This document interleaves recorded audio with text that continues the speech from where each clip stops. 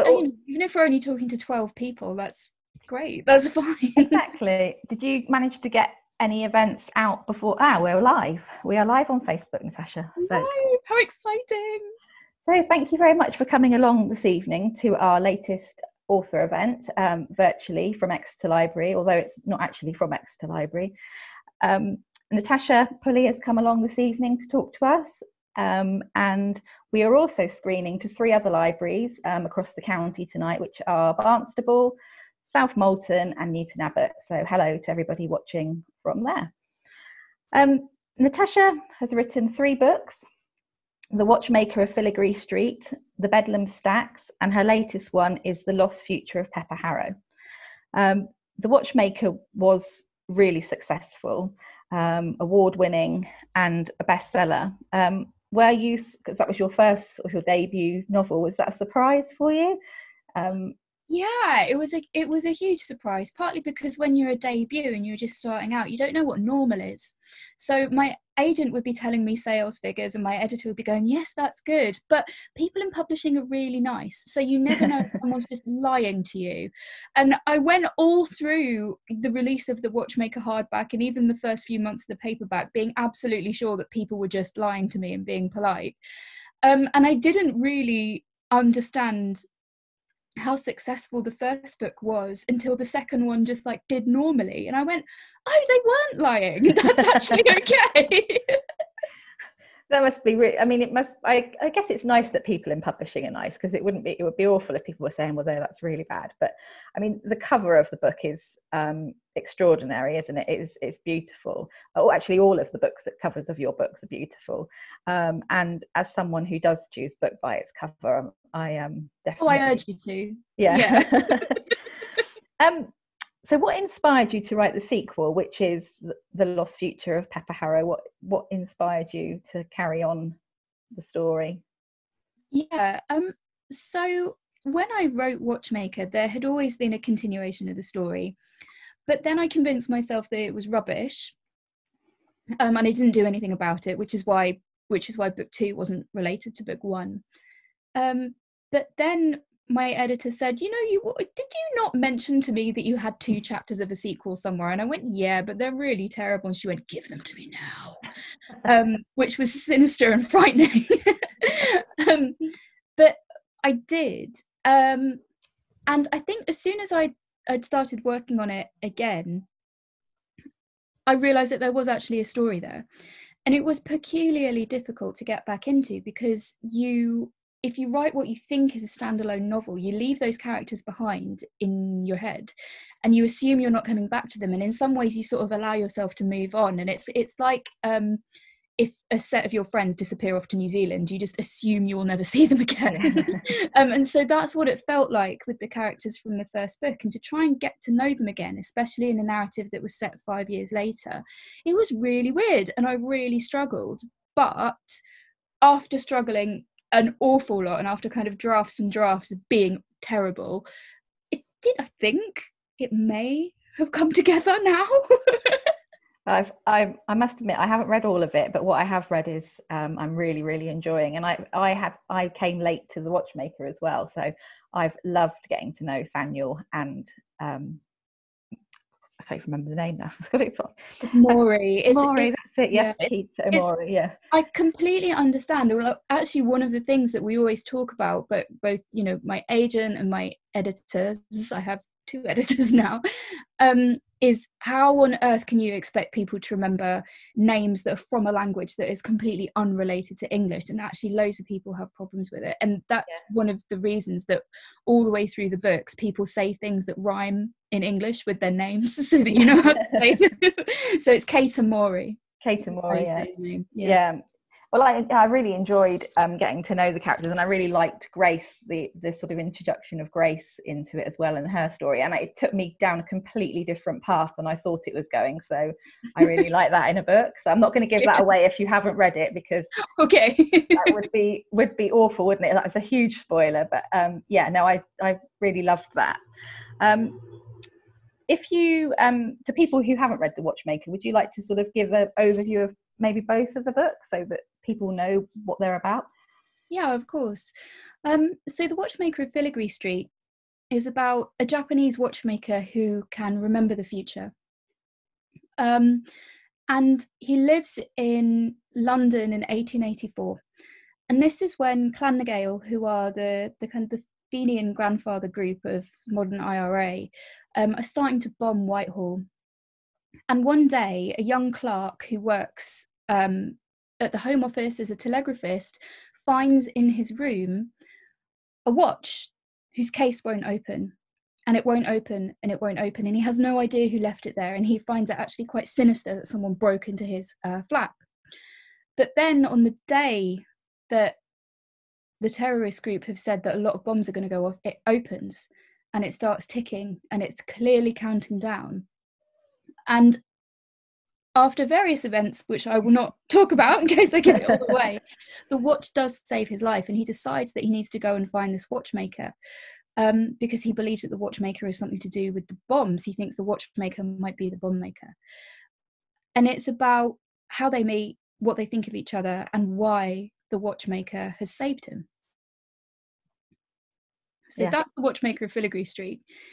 The Lost Future of Pepperharrow picks up with the same characters five years after the watchmaker of Filigree Street finishes. Um, they're very, uh, they, they still live together. Everything seems to be okay until the clerk, who is now much more successful, works at the Foreign Office as a translator between English and Japanese. His name is Daniel. He starts to get ill, and it's really ill. And the doctor says you need to get out of London now or you will die in the next fog season. And remember, the fog season in this mm. period was proper pea supers. Like the fog isn't white, it's brown. it's horrible. um, and it killed a lot of people. So he's told he really needs to get out. Fortuitously, interesting things are afoot in Tokyo and he takes a posting at the British legation in Tokyo. The watchmaker comes too, but promptly disappears, and the lost future of Pepperharrow is about what has happened to him and Daniel's search for him. Great. I think the like I say, I really like the dynamics in the watchmaker between Grace and Mori and Daniel. Um, is that there's uh, similar sort of relationships going on? Because I saw this Peter in is it Peter uh, in Pyotr Kuznetsov in the start yeah. of the Pepper yeah. Harrow. Yeah. Um, so there will absolutely be a quite a similar dynamic in the Lost Future of Pepperharrow, in that we have two guys and a girl, and there's uh, rivalry here.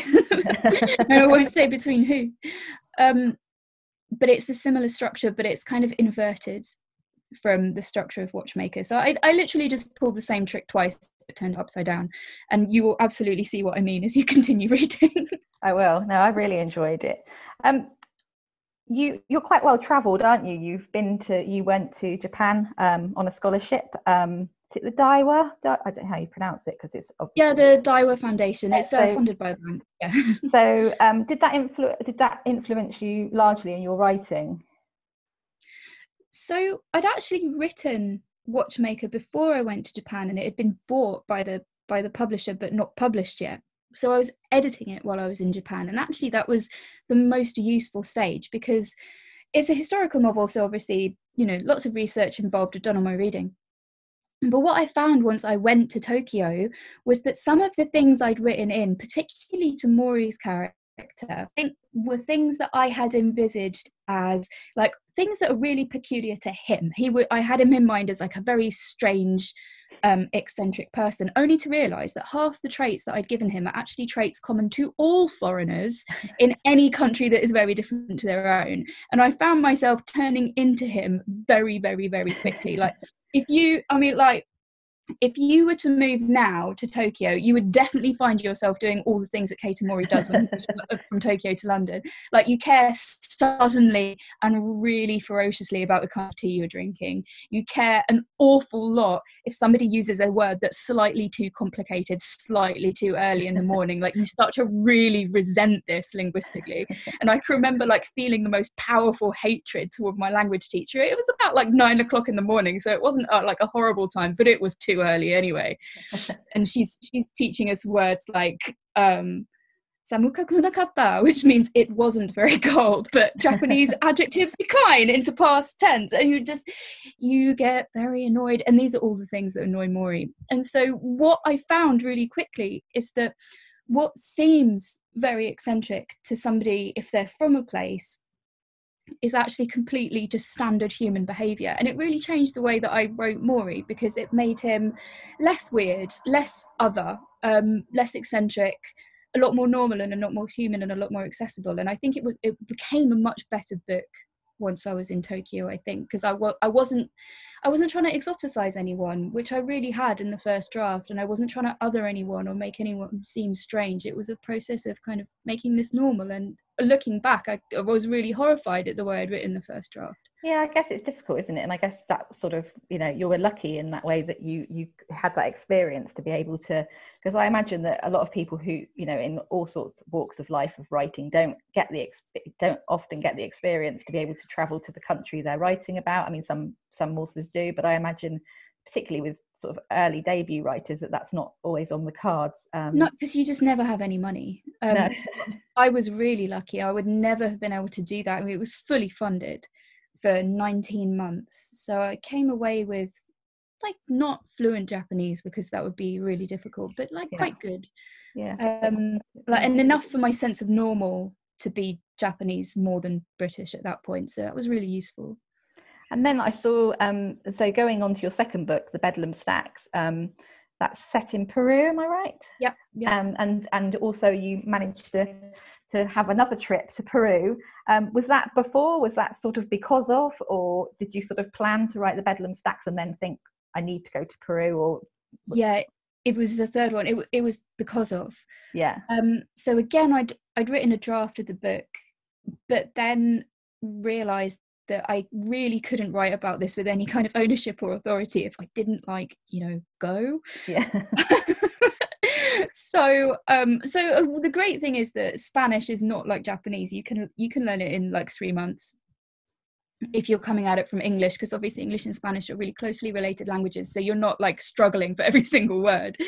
Um so i went to lima and i lived in lima for 2 months and learned learned spanish in yeah i guess about two and a half months. And then i went traveling. I did part of the route that the exhibition did sorry the expedition did in the book um, and I like chased people around being really annoying. Like there's two languages in Peru. There's there's Spanish, which everyone speaks, but it's like kind of posh, and there's Quechua, which is the indigenous language, which is which is what you speak if you're like more working class.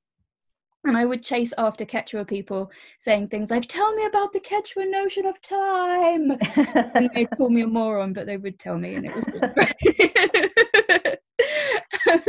that amazing. That was yeah, but I mean that was not. I didn't get a scholarship to do that. I, that that I did off my on my own dime. But then came back to find that the Society of Authors had given me a grant while I was away, oh, which covered it. Yeah, it, it, wasn't the other way around. You didn't get the grant. No, no I, I, went. I went. Oh God, I've got no funding, and lived like a church mouse. and then came back to find that they'd given me the funding, which is really great. Um, I've got a question from Hon. Um, I was going to say actually, um, to anybody who's watching the stream, you can ask questions on Facebook Live. Um, if you're watching on any of the other streams, you can um, access the questions via the Exeter stream, or you can message us via Facebook Messenger. Um, I've got a question from Linda at Honiton Library, and says, "Do you tidy like Marie Kondo?" No, absolutely not. I don't know. And oh, she wants to know also how many languages do you speak? Um, so languages that I speak, like to actually talk into, like well, three: English, Japanese, and Spanish. And um, my Japanese is getting pretty shit now because I haven't I haven't used it very much, but I still understand if someone's talking to me.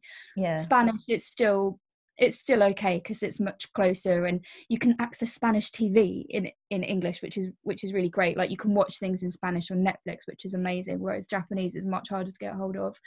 Um and i'm learning russian. Wow glad it. But it's um it's, it's a bit harder than spanish but it's not as hard as japanese so we'll be all right. We have um, language cafes um, at Exeter Library, so we've been we have them sort of in, in real life when we don't have lockdown, but um, yeah. we have them um, we're having them virtually at the moment. We don't have a Japanese one. We have a German, a Spanish, an Italian, and hope to have a Russian one soon. So maybe you can join into that one. oh yeah, I mean, I want to. I want to get to Moscow. Um, I want to get to Cairo as well. Um, so as soon as the lockdown lifts, I will not be here anymore. so do you have um, a plan for book four? Is that going? If you've got any plans? Where you said you said Cairo and Russia. So uh... plan, my darling. It's written and it's Oh, really? Edited right now. yeah. um, so book four should be out in May next year. Um, so the copy edit should come back to me this week or next week, and then it goes through proofread, and then that's it. It gets it gets oh. proofs get printed. Yeah. Um, you say anything about it? Hmm, yeah, it's called The Kingdoms, and it is a complete departure from anything I've written before.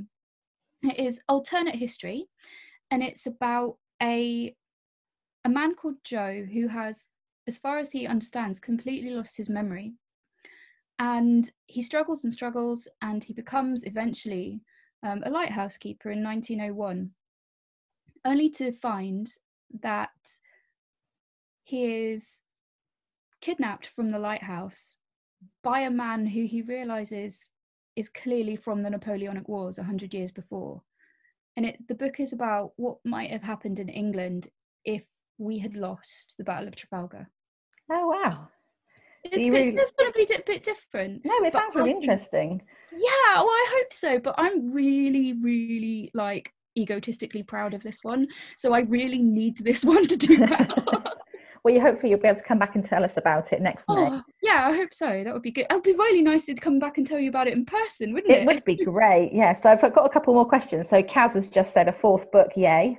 Um, and Wayne says, "Who are your literary heroes?" Hmm. So top of the list is always this is really conservative, but Arthur Conan Doyle.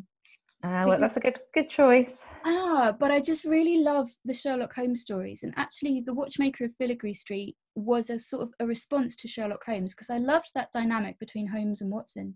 But what I always felt was really unrealistic was that Watson's wife never was in direct conflict with Holmes. Like she gives him a harsh word sometimes, but she never fights, even though her husband's in danger and even though Holmes is putting him in danger. Um, and one of the things that kind of set me off in Watchmaker was, well, what if the wife fights? So that's what Grace does. Um, does. So yes, Arthur Conan Doyle is really important. Terry Pratchett and Neil Gaiman, all the way, all the way. um, I just I I want to start using footnotes in my fiction in the way that Terry Pratchett uses footnotes. I just think that it's wonderful. Um, speaking of footnotes, Susanna Clarke, Jonathan Strange, and Mr. Norrell. Oh, yeah, yeah. Fantastic. And I want to plug her as well because she's got a new book out soon. It's called Piranesi. And it is completely different to Jonathan Strange and Mr. Norrell, but it is amazing.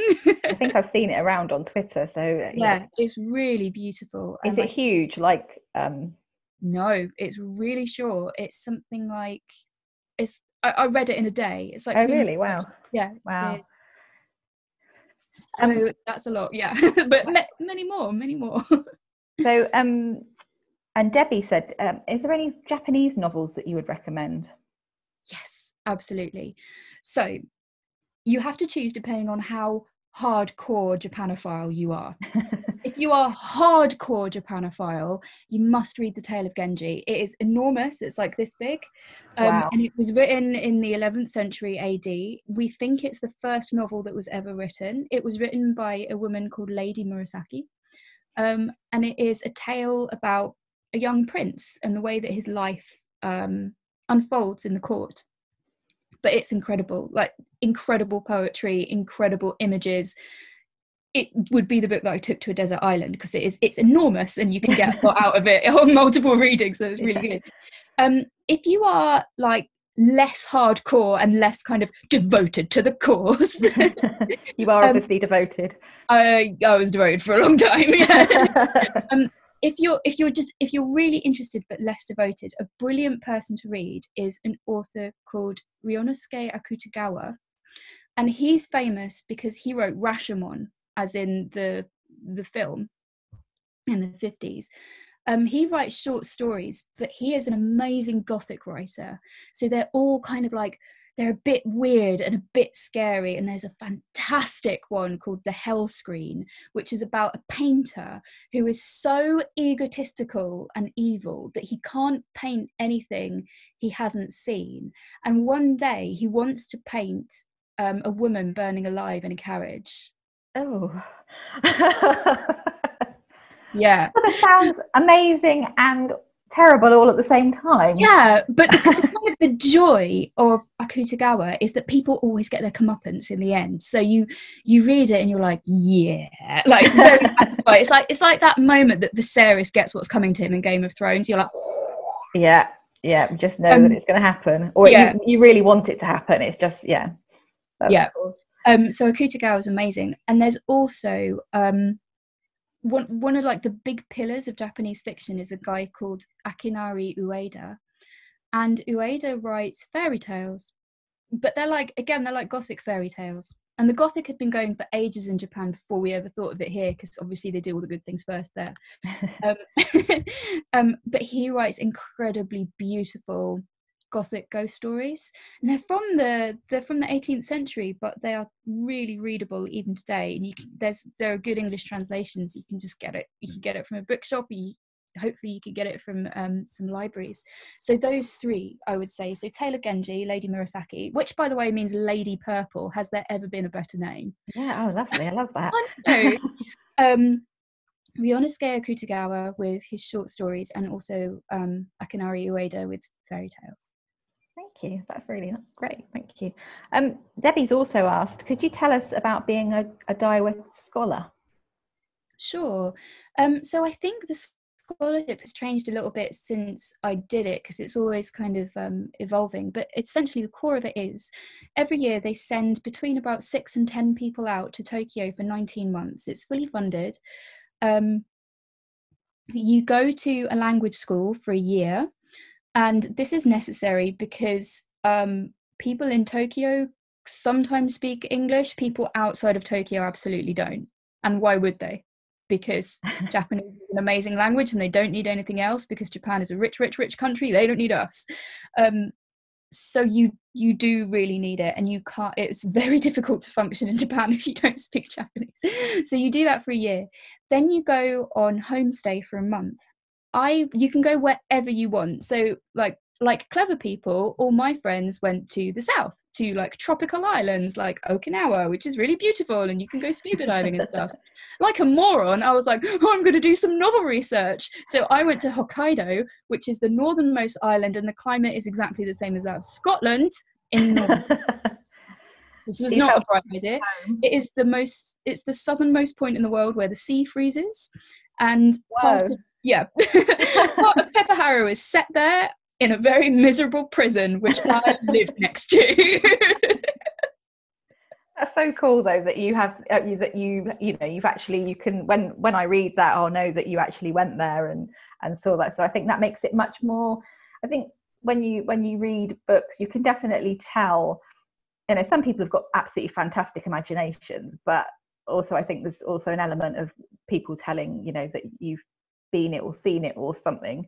So, oh uh, yeah, no, I know. I I've been around this. So it, a lot of it is set in a prison, and I, I went around the prison. I dragged, unbeknownst to me, the entire English society of the town I was living in around this prison. So there's 40 really bored Japanese people going around this prison, and me taking notes, being like, "This is amazing. This is all really good material."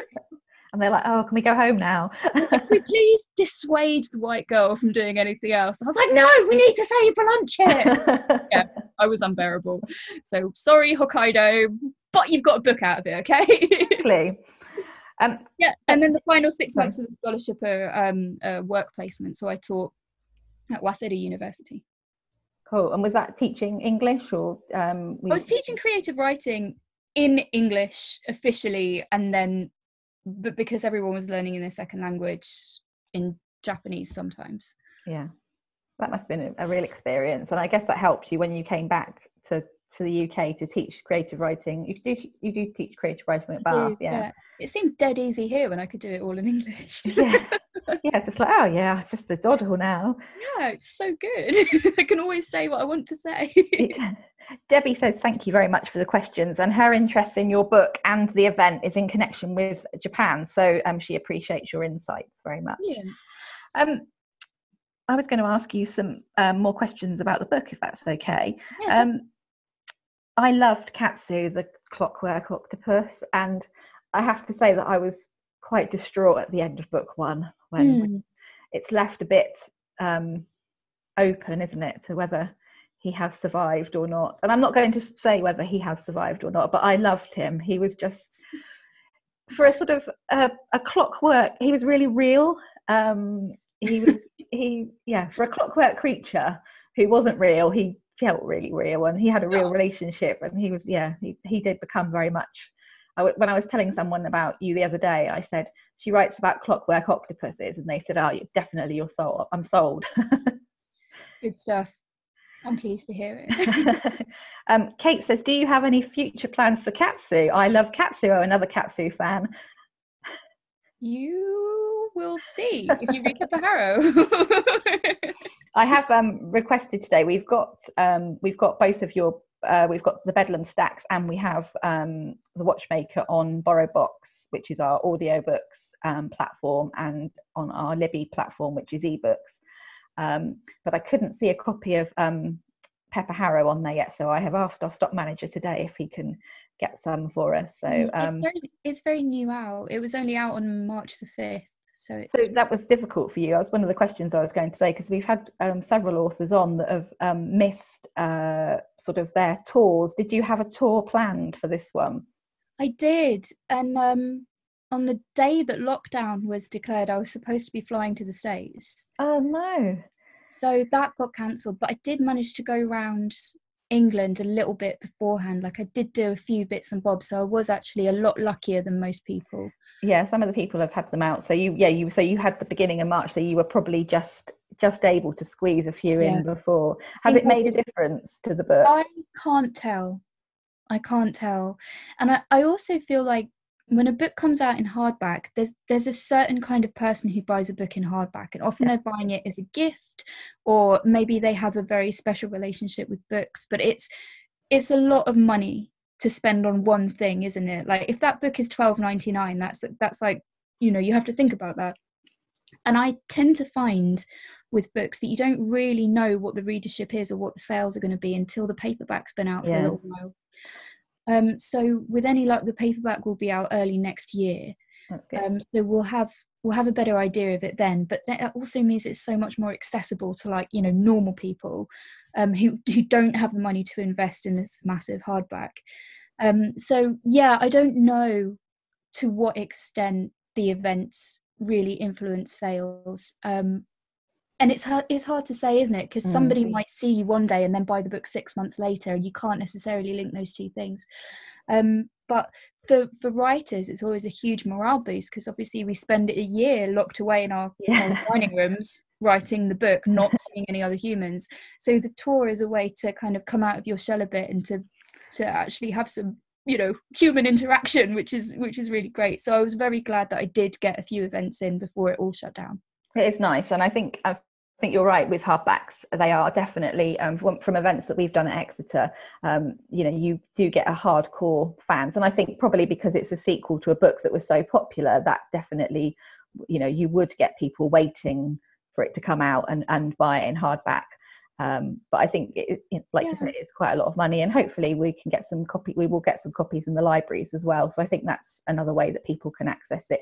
And hardbacks are really popular in libraries still. Um, yeah, I mean they're much hardier, so they are really great for libraries because they can go through lots of hands yeah. and they don't completely disintegrate. Um, yes, but they are just. I I wonder if sales have been hit a little bit because so many people are on furlough, and if you're taking eighty percent of your pay, like, you, do you really want to afford a hardback? Yeah. Um, so it's I completely sympathize with people who are desperate to get books but just can't at the moment because of money concerns so i'm very very keen for you to get this into the library no we will i'm on the case i'm definitely on the case yeah. and as i said we've got the others all the others are on either libby or borrowbox or both um, watchmakers on both I, I listened to it which was really lovely i really enjoyed listening to it Yeah. Uh, has it been recorded um, as an audiobook?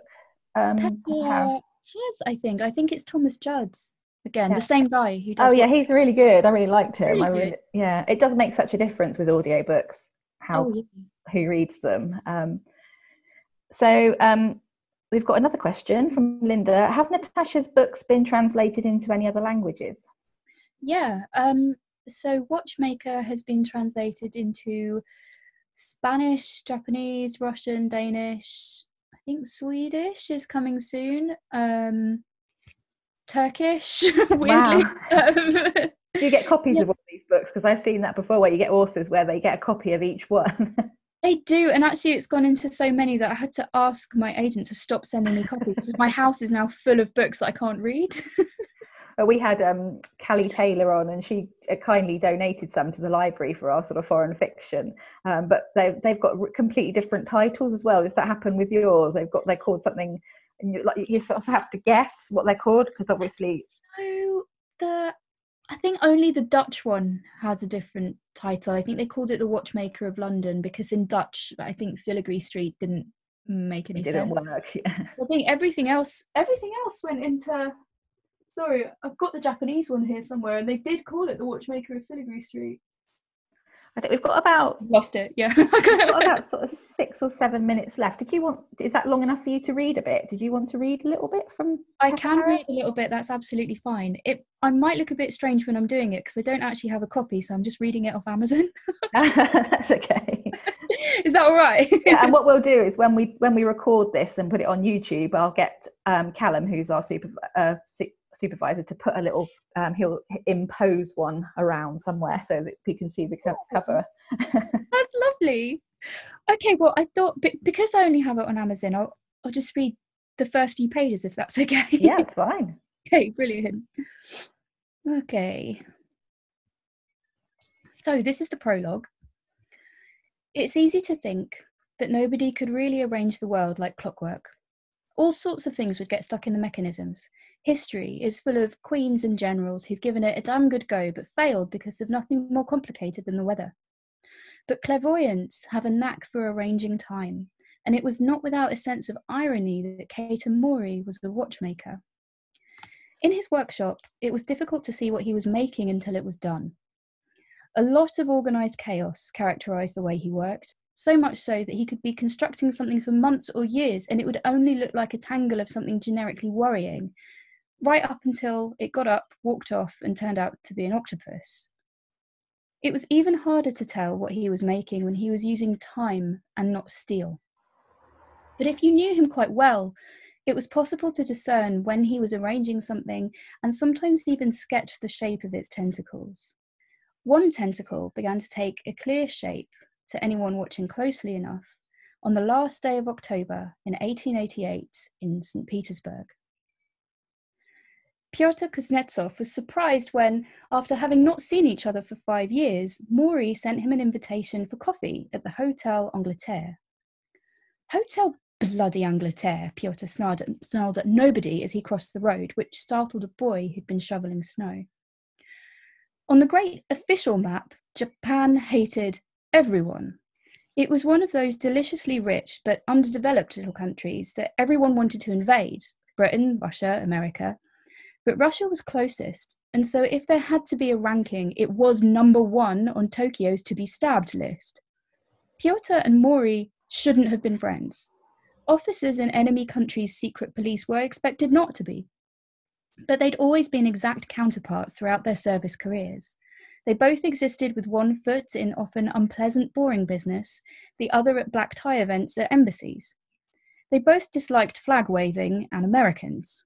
Mori could drink properly, and Pyotr knew all the rules of sumo. They had a lot more in common with each other than with the flag waving ministers they worked for. One small spanner in the otherwise smooth works was that Mori was, and there was absolutely no getting around this, rich. He did horrible things like invite Pyotr to fancy hotels, as though any normal human would even get through the door at the Angleterre. Tolstoy was staying there now. Pyotr had never lost an instinct of anxiety about places with gilded frescoes and resident novelists. Mori had retired from the Japanese service a few years ago, or so he said. He'd been living in a suite at the Angleterre for six months, making clockwork for the Tsarina. It was the most stupendous cover story Pyotr had ever seen because Mori actually was making clockwork for the Tsarina.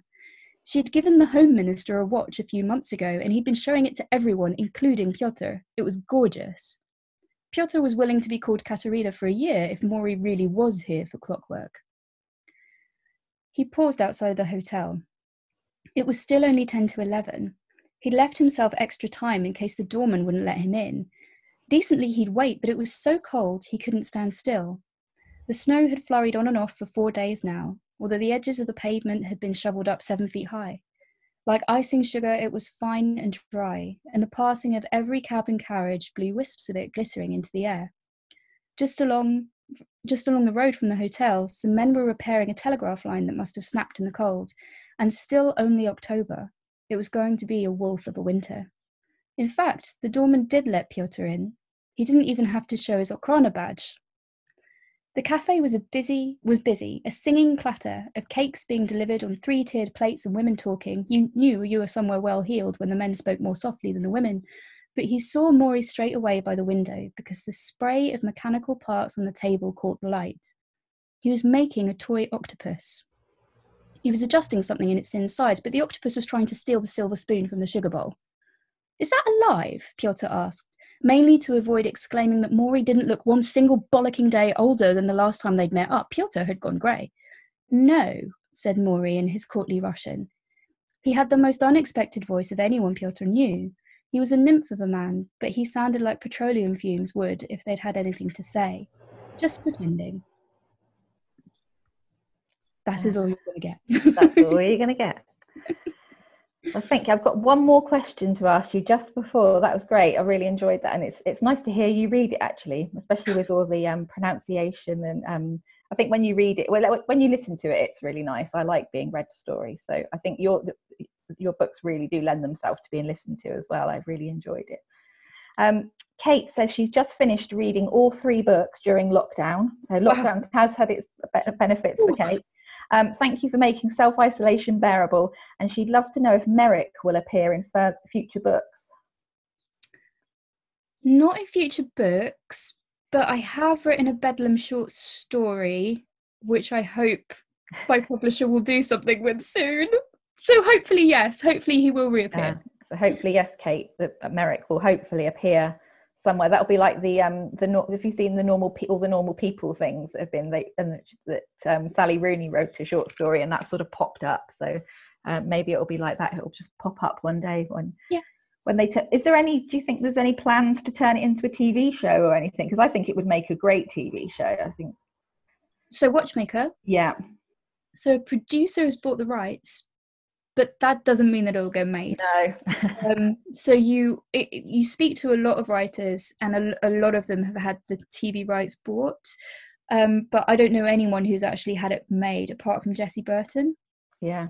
So um, so I don't know. It would be it would be an amazing pipe dream if if it did get made. So the the rights have been bought, which is step one. Oh, that's um, good. Well, that's, step yeah. one of many steps. Yeah.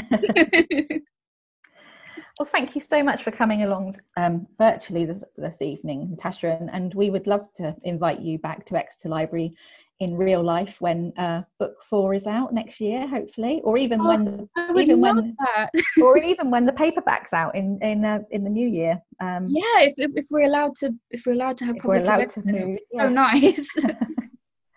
and thank you so much for um, coming along this evening, and I hope um, uh, that your all your fans and thank you for introducing me to the watchmaker because it, i had it was on my to be read list and I, I have shoved it up quite because i knew i was going to be talking to you i did shove it up the list quite quickly.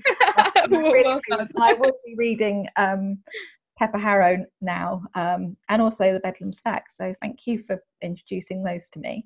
Um, and thank you again for coming. Oh thank you so much for having me. It's been lovely.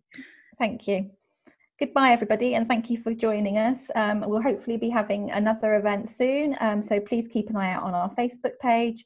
Um, and uh, yeah, thank you. Thanks very much.